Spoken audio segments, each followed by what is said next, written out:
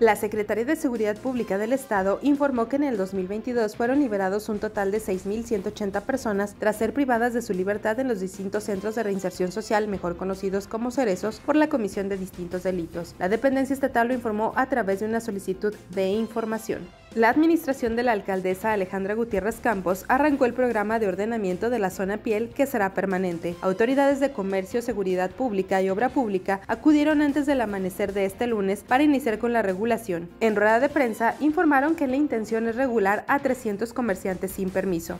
Adrián N., coordinador a nivel 4 de la Contraloría Municipal de Celaya, causó baja de la Administración Municipal al no presentarse durante 10 días consecutivos ante la Oficialía Mayor donde quedó a disposición. Erika Cruz Soria, oficial mayor del Gobierno Municipal de Celaya, explicó que el funcionario se presentó y se le hizo por enterada su situación laboral, pero no quiso esperar y solo notificó que buscaría asesoría laboral.